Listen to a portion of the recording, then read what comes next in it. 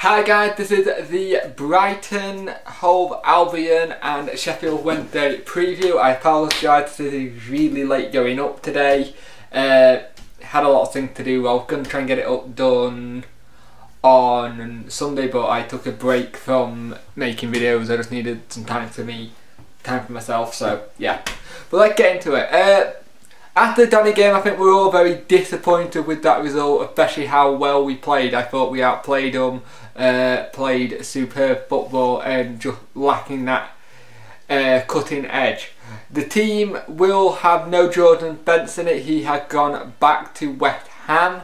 Uh, and so, so does that mean Buxton's going to be back? I hope he will be. He did seem a little bit of a liability at times, but hey, but hey, let's move on. Uh, thank you for coming to the club and helping out when we needed it. So you always got a bank player for that. Uh, so we're playing Brighton. Brighton,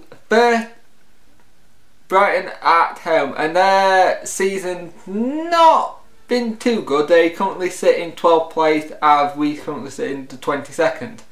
Uh, they had they have won. A look two games this season, I think. Let's just make sure. No, three games this season because they beat Birmingham.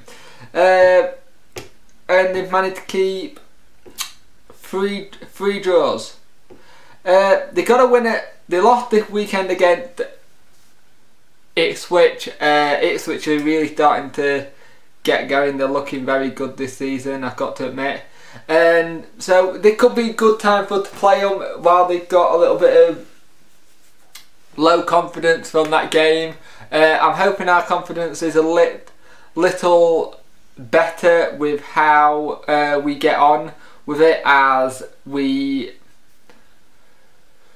as we play well, I think we need to take the performance of Donny, but this time just bag a couple of goals because Nuhiu was starting to look very good. He's starting to look very confident in what he was doing. Uh, I am very much looking forward to see how we play this game. I'm hoping we can come back with three points that would be nice to get our first win.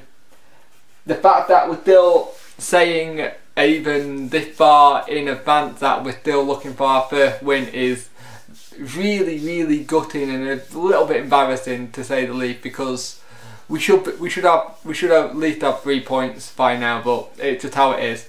But hopefully, Nuhiu will play well and the team will play well, and I wouldn't mind having the same team that we had on Saturday just minus uh, bench for Booker. But let's see what happens and hopefully come back with three points. Okay guys, bye.